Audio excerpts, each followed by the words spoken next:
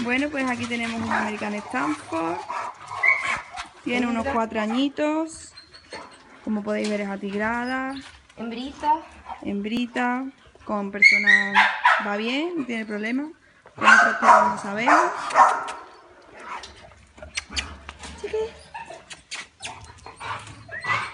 Juguetona, moviendo el rabito.